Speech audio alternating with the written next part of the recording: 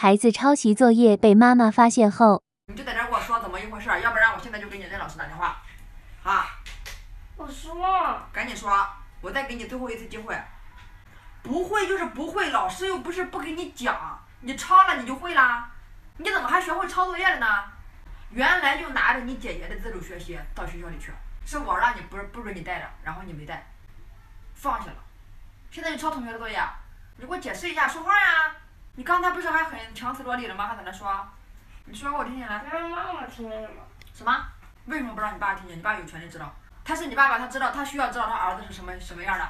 自己做了还有什么不好意思说的？你以为你在学校里抄了作业我会不知道吗？你为什么要去抄同学的作业？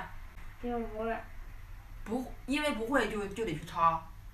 你空着他丢人还是抄作业丢人啊？抄作业。那你为什么还要去这么做呢？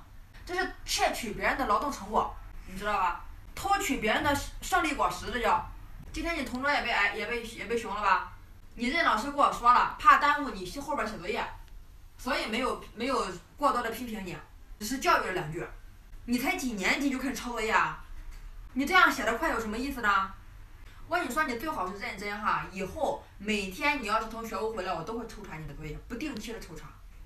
因为你现在这个行为太恶劣了，你对你今天这个行为，你有什么想说的吗？有什么想解释的吗？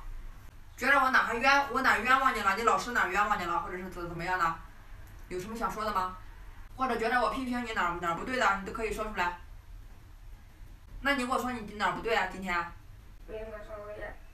你抄作业不也改到九点半吗？你不抄不会做一道题一道题的，不也得抄不也得九点半回来吗？我都不明白你为什么要去抄作业，才二年级就抄作业。你爸爸就是抄作业抄坏的，抄成倒数第一了。原来他学习很好的，就是怕数学老师揍他，然后他就开始抄作业，然后抄成倒数第一了。我倒数第二好吧。有你什么事儿？你偷来的，你偷来的也不是你自己的，因为你抄了你也不会。你爸爸就是原来抄小女生作业就抄成这样了，你看，数学都不会。谁跟你说小女生了？现在的数学，你的数学题他都不会做了。谁说的？就抄作业抄的。我又不是抄女的呢。我不管你抄女的还是抄男的，性质都是一样的。如果我再发现你下一次哈杨浩宇，揍！你听见了吗？嗯。还敢不敢？不要在我面前狡辩，杨浩宇。更不要在我面前说谎。